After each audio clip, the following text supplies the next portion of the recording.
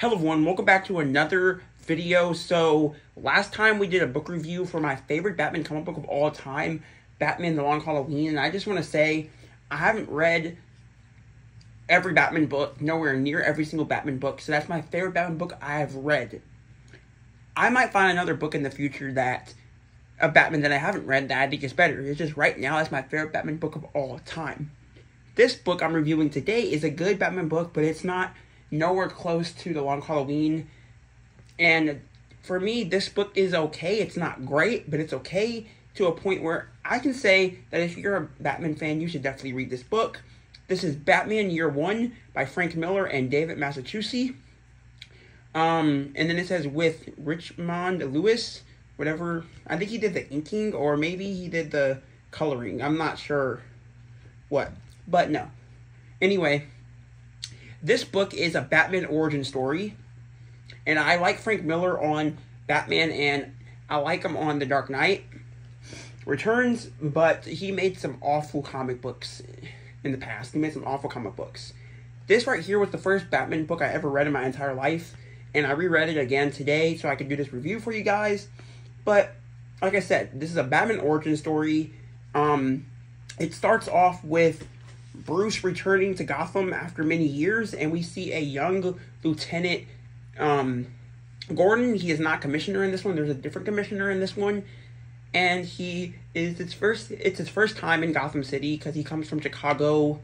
Um, Bruce left Gotham so he could train to be a better fighter, um, in his mind and in his physical, so that he can come back to Gotham and rid Gotham of the villains and the destruction that's in Gotham because as everybody's entering Gotham, Gordon views Gotham as not a great place.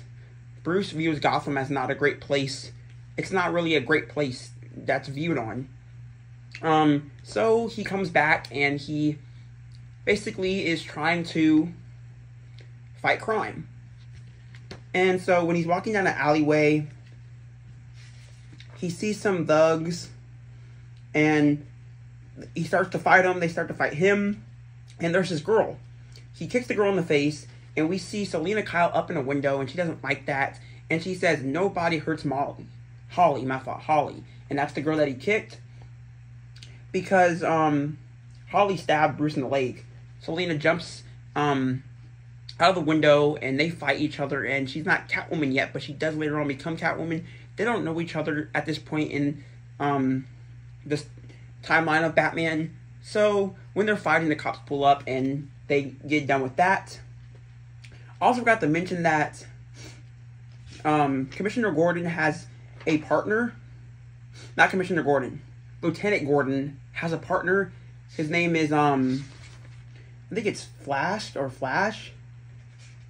His name is uh Flass. F L A S S. Um, this is his partner, and basically he's taking him under his ropes. He's teaching Gordon the ways, but then Gordon gets beat up by these thugs, and he finds out that Flass is working with the thugs because he's one of the ones that beat him up. So he goes to give him a um, get get revenge on him and beats him up, and he knows that Flass is not going to say nothing because he's not going to admit that Gordon beat him up. Obviously, he doesn't like um Jim at all. Um, and Jim's going through these things with his wife, how he's always out late because of his job, and he's always meeting up with this girl named Sarah, and it's not quite good because he is in a relationship with his wife. He's in a marriage basically, and um, Sarah is, I think, one of the people that work at the is a cop or something. She's either a cop or something to do with that stuff because she's always at the office with Jim at night. But we go back to Bruce Wayne. He needs to figure out something else because him just being a dude in a beanie with a jacket is not scaring no one. He needs to put fear in his enemies. So when a bat flies to the window, it gives him the idea to use that as his fear to others because he was afraid of bats. He knows other people are afraid of bats. So he makes a bat suit and he becomes the Batman. And people do not like this. They don't even know if this Batman dude is a man. Flass said he saw Batman and said that Batman was a actual bat. They shot at him and it went through him, but you can see by the comic book page it went through his cape, but they thought it went through his body. He throws batarangs, they think it's him throwing stuff at, from his hands. They just think Batman is this mystical being when he's really just a man in a bat suit. Um, and Gordon obviously doesn't believe this stuff at all. Um, but everybody thinks he's a criminal, so they go try to take him down. Um, but Jim knows that Batman's not a criminal because he saved a woman, he saved a cat, he's been saving people. So how could you be a criminal if you've been saving people? Um, but Gordon still doesn't fully trust him.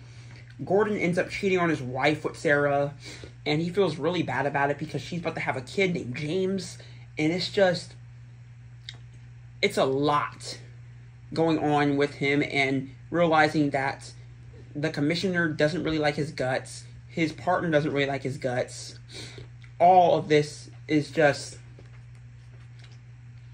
it's it's going through his head that he realizes he needs to tell his wife about all of this, and he tells her the truth. She's disappointed, but they're about to have their kid. We see that um, Selina becomes Catwoman, and she goes to try to take down the Falcones, and Batman's there, and they say that she's working with Batman, but she's not.